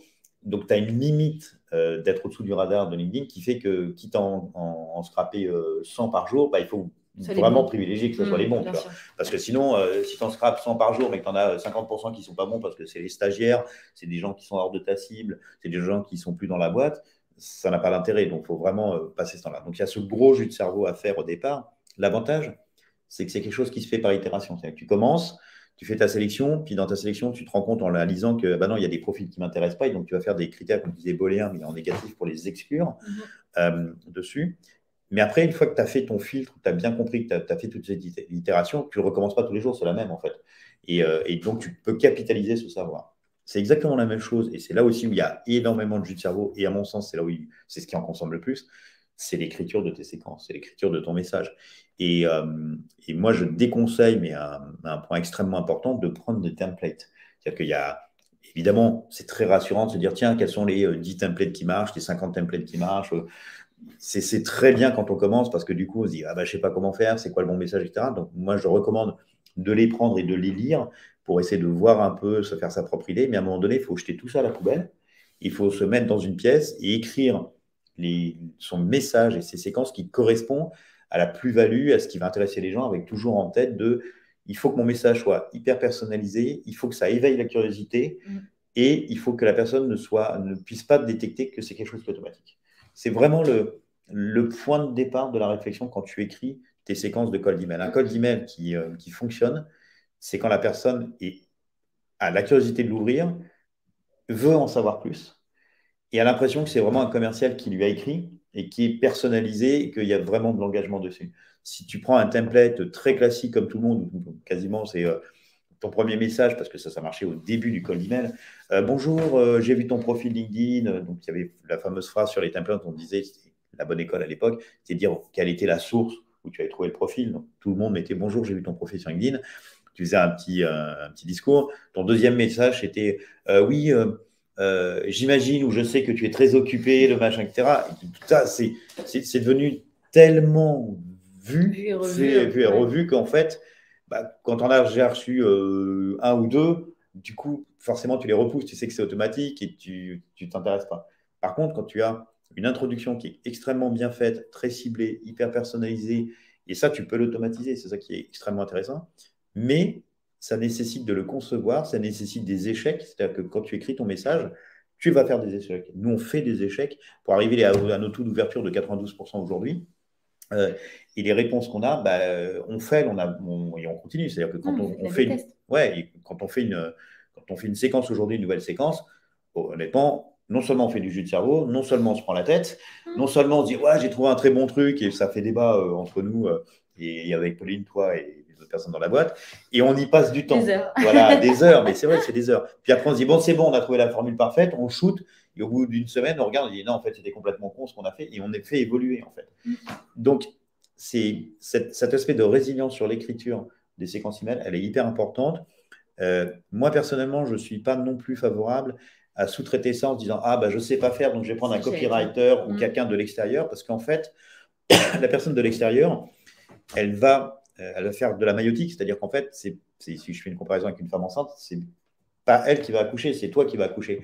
Donc ça se fait effectivement, euh, bah, ça vous fait sourire, mais en fait, la réalité, c'est quand même celle-ci c'est que c'est toi qui connais ton produit, c'est toi qui es au téléphone avec tes clients, tes prospects, etc., qui connais la plus-value de ton produit, qui a ton argumentaire. Quelqu'un de l'extérieur qui va écrire ne peut pas l'écrire dessus sans avoir récupéré toutes les informations, etc. Donc, il peut améliorer le style de l'écriture, mais honnêtement, globalement, c'est surtout dans tous les cas de figure ton jus de cerveau ou le jus de cerveau en équipe euh, et ce mm. travail qui nécessite euh, du temps. Et qui est deux points importants, et donc on les répète, c'est la qualité de la sélection et vraiment faire de maîtriser les recherches dans Sales Navigator, et ça, je vous invite vraiment à travailler ce sujet-là dessus et de bien le maîtriser. Et le deuxième élément, c'est bah, passer du temps pour faire les, les bonnes séquences. Ouais. Et avoir la, moi je trouve aussi juste par rapport au call d'email, que le message qui est envoyé soit l'image de l'entreprise. Je trouve qu'il n'y a rien de pire que de recevoir un message, entre le moment où tu reçois le message et qu'après tu as la personne au téléphone qui ne correspond pas du tout, qui ne matche pas, je trouve que ça, ça casse tout aussi, tout l'effort qui a été mis en place. Oui, on a peut-être des exemples extrêmes comme ça. C'est si ta cible, c'est des banquiers, et que tu as un template sur lequel tu as quatre emojis et tu as un même avec les gifs, euh, tu es complètement décalé sur le truc. Et vice-versa. En fait, si tu fais un email de type euh, bancaire, euh, cher monsieur, machin, nana, très cordialement, etc., et qu'en fait, tes boîtes en face, c'est des startups qui ont fait une levée de fonds, c'est très décalé. Donc, il faut, effectivement, comme tu dis, que ça corresponde vraiment à ce que tu fais habituellement et, tes cibles mm. dessus. Euh, ok, ben voilà, je crois qu'on a fait un, petit tour, en tout cas, de ce workflow qui est, très simple à mettre en place. En, et en réalité, hein, nous, on a beaucoup de clients qui, euh, font ce workflow euh, dessus. La, mise en place complète, c'est compter une demi-journée. Quoi. Oui. avec l'écriture des premières séquences et un peu de recherche. Inclus l'écriture et un peu de ciblage quand même. L'aspect connexion, c'est, on va dire, c'est une demi-heure, allez, maximum une heure pour, connecter, et puis savoir comprendre un petit peu de trois logiciels et de trois fonctionnalités dessus, donc maximum une heure. Et puis tu vas prendre une demi-journée pour faire ta première version euh, de ta séquence, euh, parce qu'il n'y a que ça à faire en fait, finalement, dessus. Et après, c'est de l'itération euh, dessus. On va peut-être prendre les, questions-réponses dessus. je vais remonter un petit peu. tac, tac, tac. Alors, il y a Sébastien. Combien de scrap par jour par Duke Soup euh, en fait, tu as, tu as un niveau qui est euh, par défaut, je crois que c'est 80, il, recommande 80, mais tu peux le bouger, tu peux l'augmenter, le diminuer, etc. Moi, ma reco, c'est de rester sur euh, ce qui est recommandé. Après, si tu as, si tu as plusieurs profils, tu peux avoir plusieurs comptes du soup et effectivement, tu peux alimenter ton pan drive de plusieurs comptes. Donc, si tu as plusieurs comptes du soup, tu vas pouvoir effectivement alimenter et démultiplier. Mm. Mais honnêtement, si tu fais une centaine de, de scraps par jour en continu, tu peux même le faire samedi, dimanche. Donc, tu as fait 7 jours, donc tu fais 700 profils, 700 contacts qui sont alimentés. Sur les 700 qui sont alimentés par, par semaine, on va dire que tu en as ouais, 70% sur lequel on va te trouver un, un drop contact, va te trouver une adresse email. Mm.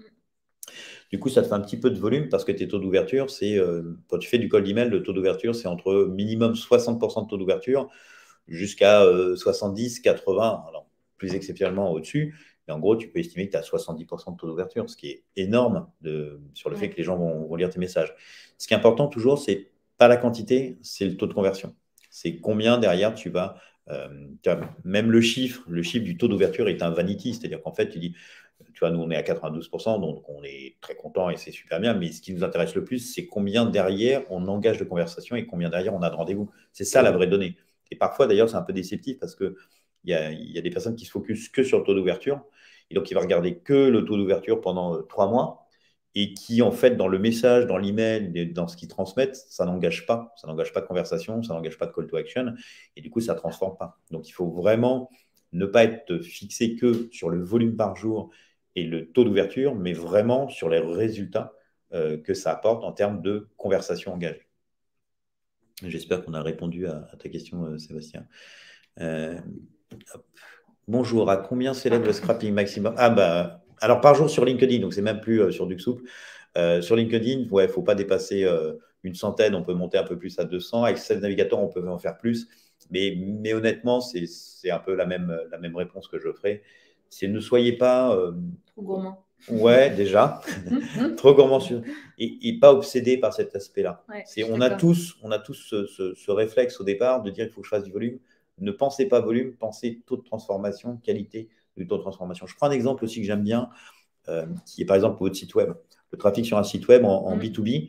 euh, en France, le, taux de sign-up est euh, en général de 1 à 5% Donc vous avez sur les nouveaux visiteurs, quand vous avez 100 nouveaux visiteurs qui viennent sur un site web, sur votre site web, vous avez entre 1 et 5% des gens en B2B. 1 hein. à 5% des gens qui vont remplir un sign-up, un formulaire c'est bien, mais vous pouvez faire mieux. Par exemple, chez Drop Contact, nous, on a un enjeu qui est très fort, c'est d'avoir un taux qui est, et c'est ce qu'on a aujourd'hui, on est de l'ordre de 20%. Donc, on a euh, vraiment un volume de, gens qui viennent sur le site euh, et qui nous génèrent vraiment euh, du résultat parce que les gens bah, s'inscrivent, testent et avancent. Et c'est ça qui est le plus important, c'est votre conversion qui va être le plus important. Donc, c'est évidemment, ça joue, hein, combien on peut se au départ, mais euh, nous, le, trafic du site en soi est une donnée importante et quelque chose qu'on suit et qu'on améliore et c'est un enjeu. Mais ce qu'on va suivre le plus, c'est combien de personnes par jour on va, euh, on va sign up en fait. Donc n'oubliez pas que c'est le résultat qui est intéressant et, pas le, chiffre qui peut être parfois un, vanity et rassurant. Bah, J'aime bien Camille, merci. je ne lis même pas les questions, mets, donc peut-être que je vais passer des, des, choses que je ne devrais pas, je ne sais pas. Est-ce que ce process permet d'avoir des informations sur des posters de France Car en passant par un upload de fichiers, ça ne fonctionne pas super? Alors, ça dépend des informations, en fait. Euh, sur Drop Contact, que ce soit en, CRM ou en fichier, euh, peu importe le, pays, on fait de l'enrichissement sur les adresses email. L'enrichissement sur les entreprises du type taille salariale, secteur d'activité, etc., pour l'instant, Drop Contact ne le fait que sur la France. Et c'est à partir du deuxième semestre 2022 qu'il y aura des données euh, chiffrées sur les entreprises à l'étranger, États-Unis, Angleterre, etc.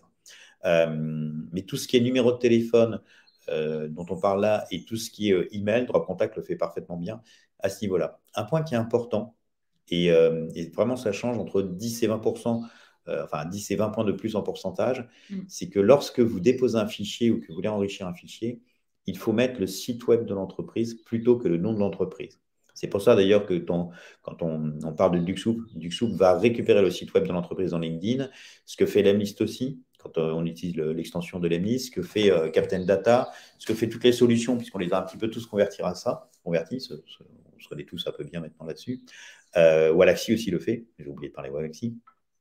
Pourquoi? Parce qu'en en fait, si, si, vous demandez à Drop Contact de chercher l'adresse email de, un exemple idiot, Sophie Marceau chez Welcome to Jungle, la première chose que Drop Contact va faire, c'est chercher le site web de Welcome to Jungle. Le nom de Welcome to Jungle est suffisamment discriminant pour qu'en fait, il n'y ait aucune ambiguïté à trouver le bon site web. Et donc, derrière, tout l'enrichissement va être correctement fait puisqu'on va chercher euh, la bonne personne sur le bon, site web, le bon domaine. si maintenant, euh, vous indiquez, vous cherchez euh, Sophie Marceau dans une boîte qui s'appelle ABC, bah, ABC n'est pas du tout discriminant. Donc, le contact va peut-être trouver un abc.com et en fait, vous, vous cherchez l'adresse email de Sophie Marceau chez abc.net. Donc, il y a une bien plus grande précision euh, à fournir le site web de l'entreprise dans laquelle la personne travaille. Si vous ne l'avez pas, parce que c'est un fichier que vous avez récupéré à droite ou à gauche, fournissez le nom et Drop Contact va faire du travail, il va enrichir, mais ça sera toujours inférieur à ce que vous auriez comme enrichissement si vous avez le site web. Et le site web, je parle de celui qui est sur le, LinkedIn de l'entreprise dans, laquelle la personne travaille. Euh, nous, on a fait des gros tests comparatifs entre euh, Clearbit qui est connu et qui a une, API, enfin une fonction qui permet de dire voilà, je mets un nom d'entreprise, ça me donne le site web, et euh, je mets un nom d'entreprise et Drop Contact me donne un site web. On est largement plus précis et largement bien meilleur en termes de qualité de volume que ce que fait euh, Clearbit sur cette donnée-là. Donc, au pire, si vous n'avez pas le site web, mettez le nom. Mais si vous voulez vraiment améliorer vos résultats, si vos données viennent de LinkedIn, il faut absolument le récupérer à partir du site web. Vous avez sur notre, notre support, notre FAQ, vous pourrez voir d'ailleurs un certain nombre de, de, solutions qui mm. permettent de scraper LinkedIn avec le site web et ça améliore vraiment les choses. Euh, et Gaël, euh, si, ce que je te recommande, c'est de contacter directement notre support euh, en ligne sur les fichiers que tu as passés ou le fichier que tu as passé qui pourront traiter ça et voir ça avec toi directement. Surtout ne pas hésiter sur notre support. Les, les gens sont vraiment là pour, pour, vraiment étudier et apporter de la valeur sur vos questions. Peut-on appliquer l'enrichissement de contact que sur certaines personnes ou organisations? Euh, alors, Drop Contact fait de l'enrichissement que sur certaines personnes ou organisations. Ah, j'ai compris. Dans, Dans Drive. Non, en fait, euh, ce n'est pas du tout euh, le, fonctionnement de Drop Contact. là, c'est plutôt le fait de, si tu veux le faire sur certaines personnes, il vaut mieux que tu les extrais, tu passes en drag and drop et que tu les réimportes. pourquoi? Parce qu'en fait, le fonctionnement de Drop Contact, c'est une, application qui se connecte à ton CRM, et que ce soit Salesforce ou HubSpot aussi qui est en train d'arriver, c'est qu'en fait, il faut faire le traitement sur l'ensemble de tes données parce que c'est ton capital. Les contacts sont un capital. Si tu les as extraits de, de Sales Navigator LinkedIn, c'est qu'en fait, à un moment donné, tu as déterminé que c'était une cible que tu devais signer aujourd'hui ou demain, et ça prendrait plus de temps, euh, ça c'est naturel et normal, mais qu'il faut vraiment la traiter dans le temps. Et donc, ça va euh, tout nettoyer, tout enrichir, même t'indiquer quand les gens sont plus dans les entreprises. Et on va sortir, vous allez voir en courant, euh, enfin plutôt au premier trimestre de 2022, il y aura une option euh, supplémentaire payante, une option premium que vous pourrez ajouter à, votre CRM dans Drop Contact, qui sera le changement d'entreprise des personnes. Je donne un exemple. Avec cette option premium, c'est j'ai un contact qui est Pierre de Bouygues Télécom avec qui je travaille ou avec qui j'ai fait du nurturing, j'ai eu des échanges, il a téléchargé un livre blanc, un webinaire, etc. Et, tout d'un coup, euh, son email ne marche plus. Que ce soit moi qui me rende compte que son email ne marche plus que ce soit surtout Drop Contact qui me rend compte que l'email ne fonctionne plus, et eh bien à ce moment, Drop Contact va vous rajouter une fiche dans votre CRM de Pierre de SFR et vous signaler que Pierre de Bouygues n'est plus chez Bouygues, mais qu'il est passé chez SFR. Et donc ça, c'est en temps euh, ça se fait automatiquement dans votre CRM, ça vous envoie un email. Et donc, en tant que sales, bah, du coup, ça permet de continuer sa relation euh, qu'on a engagée et le capital qu'on a avec quelqu'un et de lui dire bah, Tiens, euh, salut Pierre, tiens, j'ai vu, félicitations, j'ai vu que tu passé chez SFR. Et ça fait un cheval de Troie et un vrai prétexte et une, une, clé pour entrer dans d'autres entreprises parce qu'on a vraiment ce capital relation. Donc, donc, non, ça ne le fait pas. et vraiment, la démarche, c'est j'enrichis, je, droit contact enrichit, droit contact fusionne, exploite. Si à un moment donné, il y a des données dans ton CRM que tu considères qu'elles n'ont aucune valeur, à ce moment-là, supprime-les de ton CRM. Mm. Elles n'ont pas d'intérêt. Donc, c'est vraiment euh, ce fonctionnement et notre recommandation. Alors, grosse question. On n'en a pas parlé d'ailleurs. C'est vrai qu'on n'a pas expliqué euh, que Drop Contact était intégré aujourd'hui euh, dans PyDrive et dans Salesforce et qu'on arrive sur HubSpot. On, y est. on va être intégré euh, très prochainement. D'ici la fin de l'année, on sera intégré donc dans HubSpot. Et donc, bah, tu pourras Julien, faire la même chose avec Drop Contact intégré dans ton HubSpot que ce qu'on vient de te montrer de Drop Contact dans PyDrive. Oui, c'est exactement le même fonctionnement. C'est tu mets le prénom, le nom, la boîte ou le site web et tout le reste se fait automatiquement. Et si tu importes, c'est pareil. Et si tu utilises une extension qui importe en volume dans HubSpot, d'ailleurs, dernièrement, je crois que c'est le mois dernier, j'ai vu que pas, comment il s'appelle, Duxoup, Turbo, ils avaient fait aussi le même fonctionnement pour pour pouvoir importer dans, dans HubSpot. Je ne l'ai pas testé, hein, mais euh, je sais qu'il y a cette fonctionnalité qui existe maintenant dans, dans Mais il y a d'autres solutions hein, qui vous permettent aussi directement de le faire. en fait, Drop Contact va faire exactement la même chose. Là, ce qu'on qu'on avait décidé de faire, c'est de, de, refaire une nouvelle architecture euh, en termes de, de, vitesse et de puissance et, euh, et, de commercialiser HubSpot uniquement à partir de cette nouvelle architecture. Mais on a une demande incroyable. c'est un peu une blague en interne. Euh, du nombre de demandes et, du potentiel de chiffre d'affaires qu'on a sur des gens qui utilisent HubSpot et qui veulent absolument euh, intégrer Drop Contact dessus. Ok, donc ça c'est nous. Bah voilà, est-ce que vous avez trop d'autres questions? Allez-y, parce qu'on a, encore un, encore un petit peu de temps. On a réussi à. J'ai presque réussi, on a presque réussi à tenir une heure. Hein. ça serait une des premières fois. une question Zapier juste au-dessus que j'ai zappé. RGPD. Ah oui, il y en a d'autres. Oui. Ok, j'ai des zappés, j'ai pas vu. Bonjour, Zapier a-t-il une utilité dans ce genre de workflow? Euh, bah Là, du coup, dans le workflow tel qu'on l'a présenté, tu n'as effectivement pas du tout besoin de mettre ni Zapier, ni IntegroMath, ni euh, N8N. C'est, euh, l'avantage, c'est que ces solutions sont intégrées automatiquement. Donc, tu cliques, l'intégration est faite, tu n'as pas besoin de mapper, de, de, réfléchir, de tester, de poser, ça fonctionne. Après, tu peux effectivement utiliser Zapier et euh, je ne sais pas si Pauline peut nous, partager euh, l'article. On a un workflow encore plus poussé que celui que vous a montré. C'est-à-dire que ça va encore plus loin. C'est exactement le même début, mais euh, une de mes recommandations, c'est lorsque quelqu'un a ouvert un email, c'est de lui envoyer dans le quart d'heure ou la demi-heure une invitation LinkedIn avec comme message Bonjour Pierre, je viens de te faire parvenir un email pour mémoire, droit de contact, fais ci, fais ça. Bah, si tu as la moindre question, n'hésite pas à me la poser ici directement.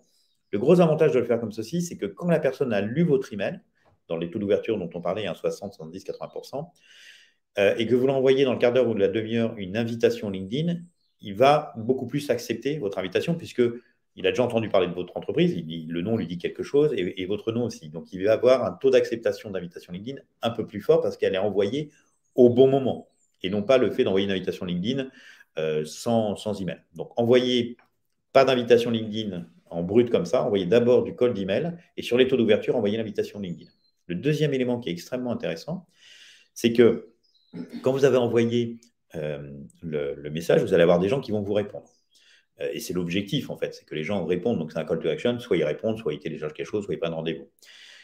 Le fait de mettre la notification LinkedIn, la note de LinkedIn qui dit euh, Bonjour, je viens de te faire parvenir un email, fait que vous démultipliez par deux les possibilités de réponse et l'engagement en termes de conversation. Ce qui se passe aussi, c'est que quand moi, je reçois un, email d'un commercial, si j'ai juste une question à lui poser, je ne vais pas forcément le faire parce que l'email est plus formel et plus engageant. Donc, je vais hésiter à lui poser ma question et peut-être que je ne vais pas lui poser et je passerai à la suite. Or, si j'ai ce message qui apparaît dans le chat de LinkedIn, ça va plus ressembler à du support et du chat et c'est plus léger comme conversation. Et en général, nous, ce qu'on récupère comme type d'information, c'est Ah bah tiens, ça tombe bien, j'avais juste, juste une question. Je voulais savoir si Drop Contact fonctionnait aussi sur les pays étrangers. Et là, l'objectif, il est atteint, c'est-à-dire qu'on a réussi à engager la conversation. Donc, le workflow euh, avec Zapier, c'est pareil, c'est de faire dans Pipedrive des filtres euh, qui, vont reposer sur si la personne a ouvert l'email de l'Emlist, parce que l'Emlist synchronise avec Pipedrive, et vous le verrez dans le workflow dans l'article, euh, ensuite, on pousse ça dans un Google Sheet, très simple à faire, hein, c'est vraiment pas compliqué. Et derrière, on peut mettre Phantom Buster, Net Booster, qui lui va envoyer les invitations et les notifications. C'est vraiment quelque chose qui est, simple, qui peut se faire dans un deuxième plan plus tard, plus tard plutôt, oula, plutôt, plus tard, je ne sais plus, qui se fait dans un, que je recommande de faire dans un deuxième temps une fois que workflow tourne. Ne pas vouloir tout faire tout de suite, faire étape par étape. il, y a, il, y a, une fameuse phrase que j'adore beaucoup, qu'on utilise beaucoup dans la, Startup Nation, comme on dit, c'est done is better than perfect. Donc, il faut commencer par faire les briques au fur et à mesure et les améliorer après. Mais là, effectivement, Zapier a une, utilité. En tout cas, nous, on l'utilise comme ceci. Et franchement, c'est, euh, ça, porte vraiment ses fruits quoi, dans l'engagement euh, sur les messages LinkedIn. J'en profite juste, je pense à ça. Euh, on n'en a pas parlé, mais il y a une version test de Drop Contact dans le CRM Drive. Pour ceux que ça intéresse, vous pouvez tester pendant 7 jours euh, Drop Contact gratuitement dans votre CRM. On va vous connecter en 2 minutes. C'est sur euh, la plateforme, sur le site dropcontact.io vous connectez euh, Drop Contact avec la clé API de votre Drive. En deux minutes, on est connecté sur les champs qu'on vous a montré tout à l'heure, téléphone, email, civilité, LinkedIn, etc. Et en fait, on va intervenir sur toutes les personnes dont la première lettre du prénom commence par ABCD. Mmh. Donc, on va aller tester, vérifier les emails de ces personnes dans votre CRM. On va ajouter des emails. On va traiter toute cette information. Vous allez pouvoir ajouter des personnes dont la première lettre du prénom commence par ABCD. Et donc, ça peut être une bonne manière de tester l'outil. Vous avez 7 jours d'essai gratuit. Donc, pour le coup, n'hésitez pas. Un petit enrichissement et un petit nettoyage euh, gratuit de vos ABCD dans votre CRM, c'est toujours cool. Et ça vous permettra de voir concrètement comment ça peut intervenir dans un CRM.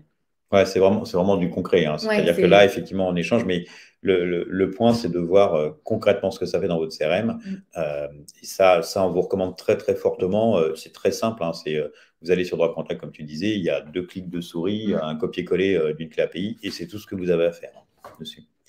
Euh, on a Media Alors, je ne sais pas qui est Media Il y a une vraie personne derrière. Comment utiliser ce type de workflow automatisé si on réalise des icebreakers personnalisés uniquement, uniques pour chaque prospect? Vas-y, tu veux répondre? Bah, En fait, oui, parce que tout à l'heure, quand on a fait la présentation avec l'Emlist, en effet, vous avez une case à cocher. C'est-à-dire que quand vous avez fait votre filtre dans votre PyDrive avec les conditions, vous allez avoir une liste, par exemple, de 50 personnes. Ces 50 personnes vont être poussées automatiquement dans vos leads Lemlist. Et dans l'Emly, vous avez la possibilité de cocher une case pour dire je veux que quand les personnes sont poussées dans ma campagne, la campagne parte automatiquement pour ces gens-là. Mais si vous ne souhaitez pas que ça parte automatiquement pour ces personnes-là, vous décochez cette case et donc vous avez la possibilité, après, une fois que ces 45 personnes ont été poussées dans votre, dans votre liste de leads, vous avez la possibilité de personnaliser avec un icebreaker si vous souhaitez vos emails avant que la campagne parte. Hmm. Il y, a il y a cette manière de le faire dans la liste, euh, qui est une très bonne manière. Tu as une autre manière de le faire aussi. C'est au lieu de faire un filtre qui euh, que l'AMList va lire euh, automatiquement tout le temps, c'est de, de, lui mettre un temps, de lui dire par exemple une fois par semaine ou une fois par jour. Et en fait, tu peux créer un champ dans ton pipe qui va être d'icebreaker, donc ton champ dans, dans ton pipe d'icebreaker, que tu peux mapper avec l'AMList. Et du coup, tu vas avoir ta liste directement dans ton CRM. Euh, quand tu fais afficher ton, ton Drive, tu vas avoir la liste avec ce champ Icebreaker et tu vas rajouter le complément d'information que tu veux mettre à cet endroit-là. Mm. Donc, il y a plusieurs manières d'intervenir. De toute manière, si tu commences à être sur du Icebreaker, tu vas forcément légèrement ralentir l'automatisation parce que tu vas avoir cette étape manuelle, mais qui, pour le coup, va elle aussi apporter de la valeur sur ce que tu vas euh, pouvoir, euh, sur l'engagement des gens dans tes messages. Après, ça dépend de ton type d'icebreaker, évidemment. Euh, si l'icebreaker, c'est le job, bah, comme Drop Contact le récupère de LinkedIn et le nettoie dessus. Drop Contact nettoie aussi les entreprises, nettoie aussi les, profils. Tu vois, tout à l'heure, on avait le, nom ou le prénom, je ne sais plus où il y avait une étoile. Mais il y a plein de choses. Par exemple, si la personne est CEO de Drop Contact, euh, en fait, Drop Contact va te mettre, enfin, Drop Contact, quand il va travailler, il va faire CEO. ou quand il va te dire, ouais, Head of Sales, we hiring, bah, du coup, Drop Contact va t'enlever ça, il va te mettre le job Head of Sales. Donc, tu peux utiliser alors, c'est un léger icebreaker, hein, on est clair. Mais tu peux personnaliser en tout cas ton message en réutilisant des champs qui sont automatisés si tu veux le faire. Et si tu rentres vraiment sur la, philosophie du icebreaker manuel, il y a cette étape semi-automatique où il faut que tu fasses ralentir ton workflow, donc soit dans l'emlist, soit dans ton CRM, euh, avec une modification du fil pour pas que ça parte automatiquement tant que tu n'es pas mis. Tu vois, tu peux faire un filtre aussi, j'y pense, quand on était sur le fil de, de Drive qu'on voyait pour lancer, tu peux dire que euh, je file sur euh, LinkedIn ID, je file sur email valide et je file sur mon champ icebreaker qui n'est pas vide. Donc, tant que tu n'as pas rempli ton champ icebreaker, le message ne partira pas sur l'email, ce qui semble être la chose que moi, personnellement, j'aurais tendance à faire. Mm. Alors, bonjour. Comment fait-on pour trouver des emails non trouvés par Drop Contact bah, Tu n'as pas beaucoup de choix. Euh, parce qu'en fait, si on ne les trouve pas, alors il y a deux choses. Il y a des emails que Drop Contact ne va pas t'ajouter. Tout ce qui est email de type générique, euh, de type contact, info, etc., Drop Contact ne va pas te les ajouter. Tout ce qui est email de type euh, personnel, c'est tout ce qui est Gmail, Yahoo, Hotmail, etc. Drop Contact les ajoutera, c'est pas RGPD compliant. tout ce qui est sur des cibles de type commerçant, Drop Contact ne va pas être adapté. Donc, commerçant, profession libérale, artisan, du type je cherche Pierre Martin, hôtel de la gare. euh, Drop Contact ne fera aucun enrichissement, il n'y aura aucune qualité. Déjà, Hôtel de la Gare, il y en a tellement en France et déjà dans chaque ville que du coup, euh, c'est impossible de savoir lequel ou quoi comment, même avec le site web. Et sont souvent des, des, entreprises, oui, des activités euh, sur lesquelles tu peux avoir beaucoup de mails qui soient de type Yahoo, Gmail, etc., et qu'on n'enrichit pas du tout. Donc en fait, si ta cible, c'est ce type de cible-là, euh, clairement, Drop Contact ne va pas être adapté euh, et vaut mieux effectivement regarder les, les, emails de type générique que tu peux trouver sur Google Maps ou Page Jaune ou Mappy ou autre, ou via Médecin ou dans des annuaires spécialisés sur tes cibles. il y a peu d'emails que Drop Contact trouve et ne trouve pas pardon, et que les autres trouvent. En général, les emails que les autres trouvent sont des emails qui ne fonctionnent pas. Euh, et on est en continuité, en amélioration très forte de Drop Contact sur euh, notre moteur pour euh, trouver des adresses email. On a, si je, prends au cours des, trois derniers mois, toutes les solutions françaises, quasiment toutes, hein, pas toutes, mais quasiment toutes les solutions françaises qui font du scrapping, de l'automatisation. Donc, je pense à Walaxy, Lemnis, La Growth Machine, Captain Data, Lobster, EvaBoot, Leadjet, Faro, euh, et il y en a 4-5 qui sont en train d'arriver, ont toutes testé toutes les solutions, parce que c'est quand même leur boulot et, leur élément essentiel, et ont toutes basculé sur Drop Contact en termes de comparatif. Après, tu as un deuxième élément, JP, j'imagine, c'est Jean-Pierre. Euh, non ouais. Euh, Jean-Philippe. Ah, Jean-Philippe, on ne sait pas, JP, désolé. donc, on devient plus familier. L'élément, c'est que il y a un moment donné, il y a moins de valeur à se dire qu'il faut absolument que je trouve tous les emails de toutes les personnes que je veux contacter. Et il y en a où personne ne trouvera les emails, plutôt que de se focuser sur des personnes sur lesquelles on trouve les emails. C'est-à-dire que l'effort pour chercher les 20 ou 30% d'emails que Drop Contact ou autre solution n'a pas trouvé n'est pas rentable par rapport à aller chercher sans autre personne de scrapping sur les données. Bonjour, comment Comment serait-il possible d'utiliser votre pour cibler des chaînes d'entreprise qui seraient en âge de prendre la retraite et qui voudraient vendre leur société? Euh, C'est une bonne question. Je pense que le. Ah, ouais, je pense, je pense que le, filtre, euh, c'est les années d'expérience. C'est Pauline qui me souffle l'info. Donc, une piste, ça serait effectivement de, comme critère, et ça, c'est vraiment la, la recherche dans Self Navigator, qui va être de de rechercher effectivement les personnes qui ont euh, beaucoup, qui sont CEO, chefs d'entreprise, PDG, gérants, etc., et qui ont eu un, nombre d'années d'expérience et qui est supérieur à 30, 20, 40, je ne sais pas, à déterminer et à tester. Il y aurait ce critère-là. Moi, j'aurais tendance aussi à repenser à un autre critère qui serait euh, des entreprises qui ont été créées il y a X années, donc avec un minimum, euh, parce qu'en général, il y a une corrélation. Après, il pourrait y avoir du, ce qu'on faisait euh, historiquement, ce qui était du scoring prénom. Mais euh, le scoring prénom, c'est qu'en fait, fonction du prénom, on connaît à peu près l'âge d'une personne. Euh, ça marche plus ou moins bien parce que ça revient et que c'est des boucles, mais ça peut aussi jouer. Peut-être un peu plus, un peu plus subtil, un peu plus statistique, mais je pense que le nombre d'années, le nombre d'années peut compter. C'est un peu comme ça que, je ferai pour, cibler les personnes dans ces navigateurs. Oui, c'était Jean-Philippe, en fait. Merci, Jean-Philippe. Est-ce que vous avez peut-être encore une dernière question? J'en ai loupé une Laura, Laura, Laura, Laura. Peut-on appliquer l'enrichissement de drop contact que sur certaines personnes d'organisation Non, ça on l'a fait. non, je crois qu'on les a. Un live RGPD. Ah, Alors, hop. Il y a Louise, un live RGPD bientôt, normalement faire du call email site B2C. Alors, j'ai déjà la réponse avant de faire un live. si ta cible est du, du B2C, tu ne peux pas faire de call d'email. C'est formellement interdit je le déconseille très fortement d'en faire. Euh, pour deux raisons. D'abord, tu auras des plaintes euh, et tu recevras des plaintes de la CNIL et des plaintes des gens parce que ça ne se fait, pas. C'est complètement. Euh, maintenant, c'est absolument illégal. Le deuxième élément, c'est que quand tu vas taper sur des emails et que tu vas shooter des emails à des entreprises, des personnes sur des emails perso de type Gmail, Hotmail, etc., tu vas avoir un certain nombre de personnes qui vont te mettre en spam qui vont classer ton dossier en spam, ton email en spam. Il y en a qui vont mettre en plainte et il y en a qui vont mettre en perching. Et en fait, ça va euh, venir assez rapidement, selon le volume, euh, endommager la réputation de ton domaine et la délivrabilité de ton domaine. Donc, tous les gens à qui envoyé des emails, par exemple sur Gmail, si tu en envoyé, euh, je sais pas, 10 000, ou 5000 et que tu as eu 7% de gens qui ont déposé plainte, qui ont qui t'ont mis en spam, bah, en fait, les autres ne vont plus recevoir du tout tes emails. Donc, la méthode en B2C, c'est vraiment pas de faire ça. En B2C, il vaut mieux faire effectivement du Facebook Ads, euh, vaut mieux faire des, choses à télécharger. Il faut que tu, tu, sollicites en fait le fait de récupérer les adresses email et que les gens ils, fassent ce qu'on appelle de l'opt-in, c'est-à-dire qu'ils disent bah tiens je veux avoir de l'information et qu'ils cochent cette petite case. Une fois qu'ils ont coché cette case et que c'est eux qui ont rentré leurs coordonnées, à ce moment-là tu peux faire tout ce que, tout que. Oui, tu peux avoir les solliciter, les travailler, les emails, etc., les appeler. Et c'est comme ça qu'il faut le faire en B2C. Il n'y a pas d'autre méthode. Et tout le reste, en fait, tu vas perdre beaucoup de temps à essayer de le faire. Tu vas avoir des conséquences négatives et tu n'arriveras pas à transformer correspondant correctement.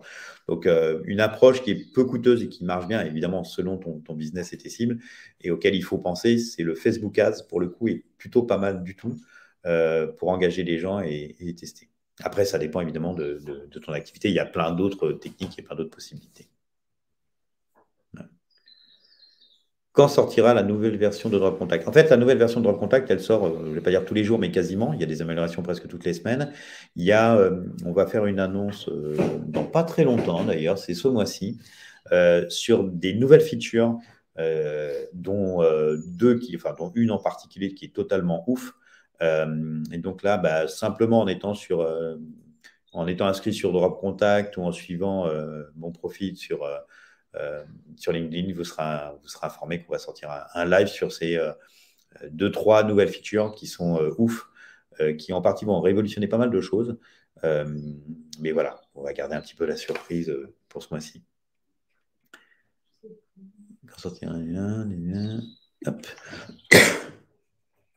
Merci pour votre réponse résonnante. Question par rapport aux freelance. Si on veut les contacter qui n'ont qu'une adresse Gmail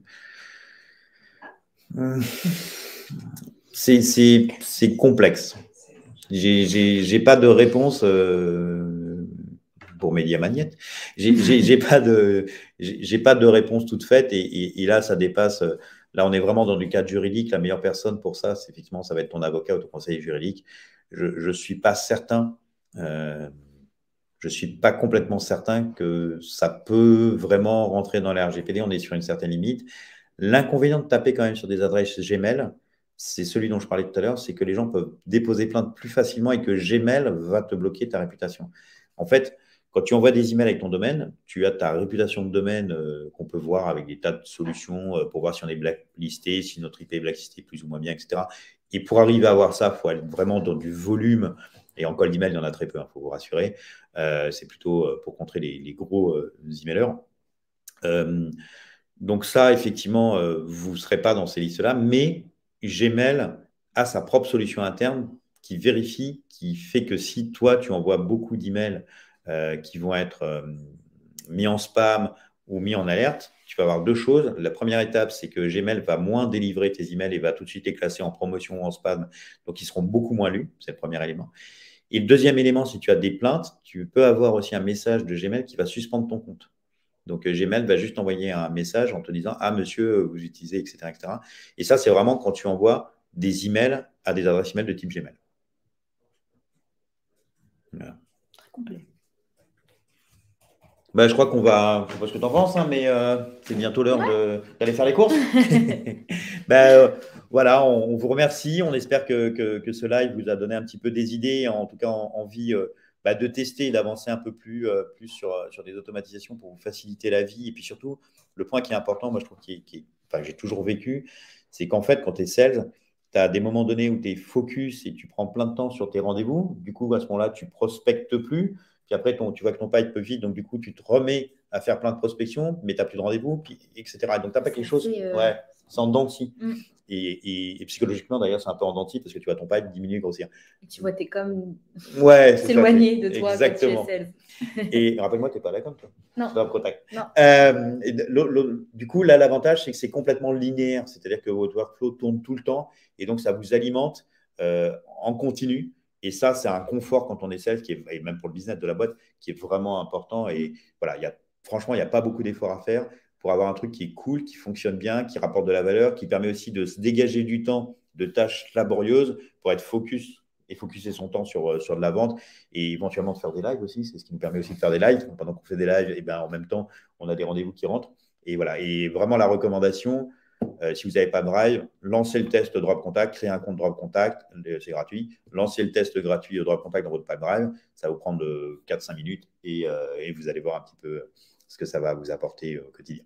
Et il y a mon calendrier aussi. Pauline a glissé mon calendrier. Si vous avez des questions, n'hésitez pas. Pour le coup, je, suis là. bah, merci beaucoup. Excellente journée. bon courage. Au revoir. Au revoir.